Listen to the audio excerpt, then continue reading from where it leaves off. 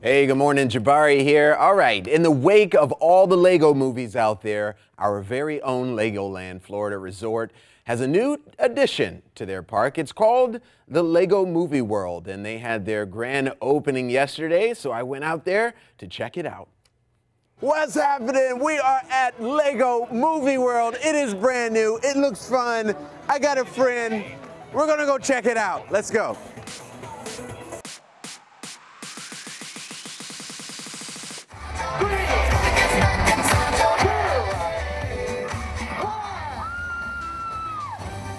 Legoland 2 has a brand new addition. This is like the movie theme park version of the Yes. theme park.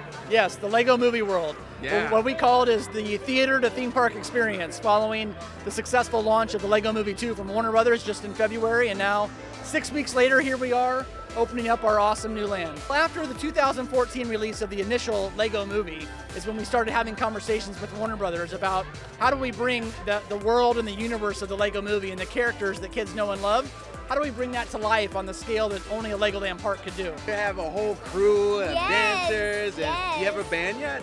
No, I don't have a band, but I have a crew.